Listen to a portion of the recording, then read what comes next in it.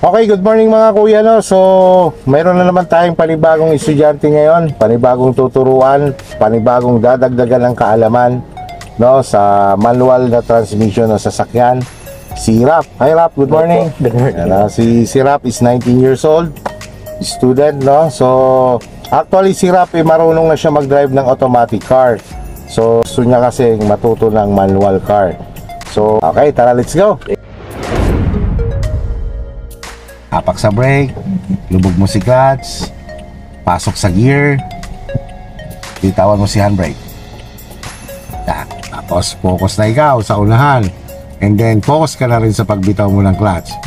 Ganito, din tulad ng sabi ko sa iyo kanina, try mo muna gamitin si biting point, no? Sige. Yan, stay. Stay ha, o punta ka sa gas. Sige, gas ikaw. Yan. Yung gano'n, ano? Sige. Try mo ulit. Kapag alam mo, ramdam mo sumusobra ang hilig niya, lubugan mo siya ng konti. Lumang salita, ito yung tinatawag ng mga veterans na mag-half clutch ka muna. Yung mga ganon. Subukan mo yung ganon. Tapos pag nakapag-half clutch ka na, lipat mo na paa mo sa gas. Habang nagagas ka, bumibitaw ka na ulit tuloy-tuloy ng iyong clutch. Ah, ganyan, half clutch. O punta ka sa gas. Ang gas muna ikaw dandan, tapos dandan din bitaw ang clutch tuloy-tuloy. Kasi yun yung sabi ko, pagka binigla mo, mamamatay talaga siya. Ah. Kaya kailangan, magagas ka muna, sanayin mo ang paa mo na nagagas ka muna bago mo sinasabayan ng pag-angat ng clutch dahan-dahan. Ah, sige, start. Sige, first gear.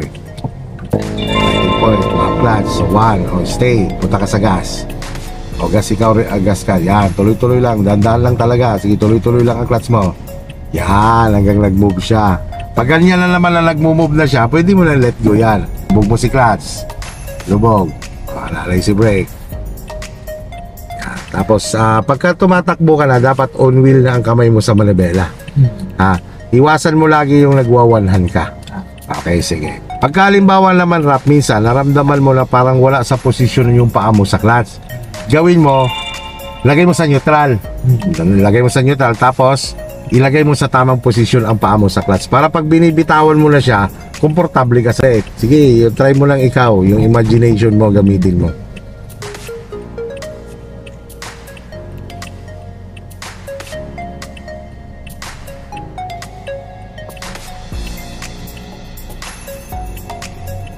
Yan, tuloy-tuloy lang yan. Sige, tuloy-tuloy. Yan.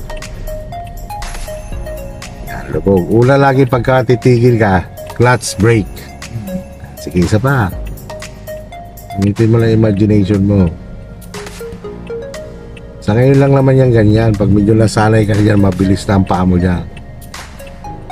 Sige lang ulit. Sige, tuloy-tuloy lang.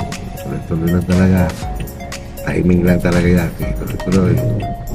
Yan. Gawin yung, halimbawa, naramdaman mo yung biting point. Hmm. Tapos eh, akala mo kaya mo siyang pagalawin sa pagbigla. Hindi mo kayang, kumbaga ang paggalaw niya dapat dahan-dahan din. Kaya magagawa mo yon pag dinadahan-dahan mo ang bitaw ng clutch mo tapos dahan-dahan ka rin sumusuporta ng accelerator. Mag-focus ka doon na paano mo makontra yung pag-atras mo. Sige, subukan mo ha. Unahan natin ang bitaw ng brake. Yan, ganyan. Sige, punta ka sa gas. Gas, wag galaw mo lang ang clutch mo. Sige, gas mo na ikaw. Ah, huwag masyado. Tuloy-tuloy lang ng dahan-dahan. Tuloy-tuloy mo rin bitawan ang clutch mo. Sige, tuloy-tuloy lang. Dahan-dahan lang talaga. Yan, sige, tuloy-tuloy lang. Yan, ganyan. Yan. Yan yung timing, ano. Tama, huwag ka mag-brake ha. Lubog mo clutch mo. Lubog mo. O, bitawan mo ulit dahan-dahan. Sige, bitaw dahan-dahan. Gas ka rin dahan-dahan. Sige, tuloy-tuloy. Sige, tuloy-tuloy yan. Huwag mo ibalik. Tuloy-tuloy mo lang. Yan, lubog mo ulit. Yan, tingnan mo. Ganyan. Ganyan mo lang siya i-play. Ah. O, bitaw ulit. Dahan-dahan. Sige, tuloy-tuloy. Tuloy-tuloy rin sa paggagas. Sige, tuloy-tuloy lang. Huwag mo ilubog ulit. Tuloy-tuloy mo lang. Gas ka lang rin tuloy-tuloy. Sige, tuloy-tuloy. Yan. Di ba? Nakukontra mo yung pag-atras niya. Yan. Sige, ganyan lang. O, bitaw ulit. Dahan-dahan. Gas ulit dahan-dahan. Sige, tuloy-tuloy lang. Tuloy-tuloy lang sa pagsuporta ng accelerator. Yan. Subukan mo ulit. Yan, ganyan lang yun pag nag-stop and go ka. Pag siyempre, alam mong babangga ka na sa ulan, di magbe-brake na ikaw. Kumbaga moving lang siya. Ganun ang gawin mo. Ang plane yan. Sige, tara. Yan. Sige, tuloy-tuloy lang yan. Pagka ginasan mo siya at hindi pa gumalaw, dagdagan mo pa konti ang pagbitaw mo ng clutch. Sige. Bitaw lang ulit. Sige, tuloy-tuloy lang. Yan. Kailangan pagka ganyan umatras, pag inilubog mo yan, lalo kang aatras doon. Mm. Pero kung itutuloy-tuloy mo lang ang bitaw ng clutch mo dahan-dahan hanggang mali, makontra mo yung pag-atras niya, yun, magmumove ka lang yan pa forward. Okay, Rap. So ngayon, iikot tayo dito, full turn. No? Ganito lang kapag umiikot ka ng ganito na manual ang dala mo. Pag bitaw mo ng brake, huwag ka masyado magagas dito. Halimbawa, binitaw mo si clutch at gumagalaw na siya. Hanggang doon lang muna ang bitaw ng clutch mo. Huwag mo munang alisin ang paa mo doon. Kumbaga, hanggang doon lang siya sa gumagalaw. Mm. Antayin mo lang na makaikot ka. Pag tingin mo lang nagmo-move naman siya almost ka lang umiikot, let go mo na yung iyong clutch, no? Then, antayin mo may balik mo sa normal ang manubela mo or maiharap mo na or mailagay mo na sa lane mo. And then, gas ikaw. No, pag gas mo, gas up.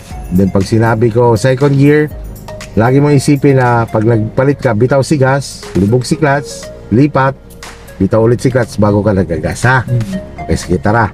Signal, signal your intention. Talapak sa brake. First gear. Release si handbrake. Check ang rear mirror. Yan, wala. Ma- sa harapan mo, yan, may parating na motor. Ganyan lang pag umiikot. Lagpas yan, double check ulit ang likod. Wala naman, sige tara, unang bitaw si brake. Patong lang ang pakay gas. Tapos, bitawan mo clutch mo dahan-dahan, sabayan mo ngayon ang ikot ang manubela mo ha. Yan, hanggang dyan lang, yan gumagaw. Sige, ikot manubela. Ikot na ikaw. Sige, sige, tuloy-tuloy hanggang maisagad mo kasi full turn tayo. Yan, kung mabagal siya, bitawan mo pa bahagya. Yan. Hanggang dyan lang, yan mo pagagalawin. Okay, one, balik. One, and two. O, bitawan mo muna clutch mo. Yan, gas up muna ikaw. Sige, gas up. Sige, gas up. Okay, bitaw sa gas, lubog si clutch, second gear. Yan, bitaw si clutch. Control lang sa paggagas ha, kailangan ah, wag manggigil. Sige, gas up. Yan. Clutch, third gear. Yan, tuloy mo yan. Ganyan, parang nagmamati ka na ng yan rap. Kinokontrol mo lang sa paggagas. Tama lang yan kasi hanggang 40 lang tayo. Pansin mo, Rap, na sabi ko sa'yo, ang challenge lang ang pag-arangkada. Oh. Pero pag tumatakbo ka na, di ba, basic na, no? sabi ko sa'yo eh. In the same time, syempre, medyo sanay ka na sa manapena. Okay, ngayon, Rap, lilipat tayo sa right lane, no? Tingin sa rear mirror, signal sa right. Yan, unti-unti ka lang punta sa right. Tapos gasan mo lang ng bahagya at doon lang tayo, doon tayo titigil doon sa taong nakatayo na yan. Patay mo lang signal light mo. Kapag ganyan pa kabilis, oh, bitawan mo lang si gas. Alalayan mo ngayon si brake. Alalay ka muna kay brake. Pag bumagal lang siya, alalay pa, alalay. Okay, lubog si clutch. Lubog. Yan. Neutral. Okay, so handbrake mo muna para makapahinga mga paa mo. Yan, relax mo lahat. O, di ba? Yung sa arangkada lang. Yun ngayon ang i-develop natin ng i-develop. Ikot lang tayo ulit. Double check lang lagi, no? Harap at likod. Tara.